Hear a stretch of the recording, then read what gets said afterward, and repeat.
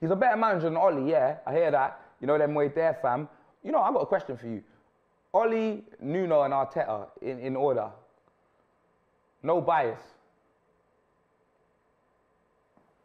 Arteta, Yeah, Nuno, yeah.